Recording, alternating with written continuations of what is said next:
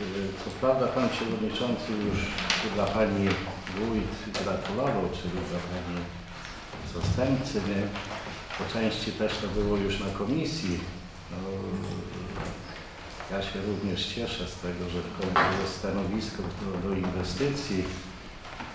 Może powiem trochę taką nawet nie, niepopularną sprawę, ale y, pozwoliłem sobie, Giżycko nie jest daleko, zasięgnąć opinii. Znaczy może nie opinii, tylko troszkę informacji.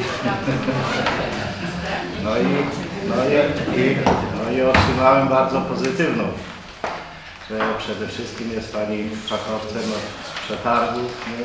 co mnie bardzo cieszy. No jak również i od środków, pozyskiwania środków. Nie?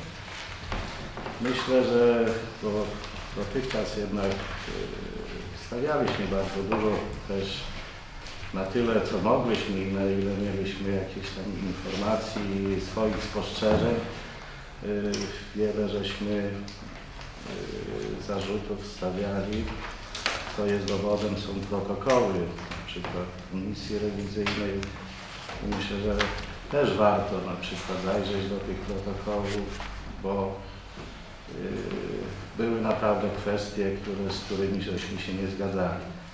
No i ten fakt sam, że dziś Pani też powiedziała, że będzie Pani się konsultować z nami i, i, i, i rozmawiać o e, różnych rozwiązaniach, bardzo cieszy. No I jeszcze raz gratuluję i przynajmniej na dzisiaj cieszę się z tego.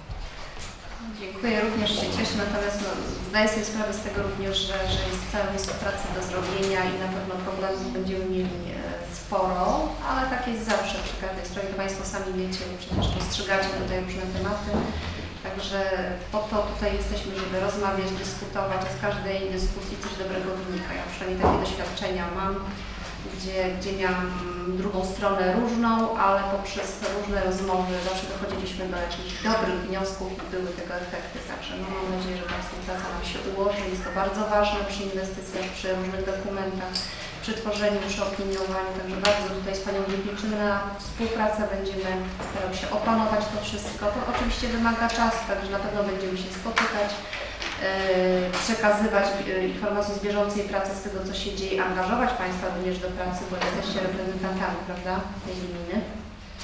Także myślę, że jesteśmy na dobrej drodze, a jeżeli jest tak pozytywne, mam nadzieję, nastawienie, więc myślę, że możemy coś dobrego dla tej gminy wspólnie zrobić.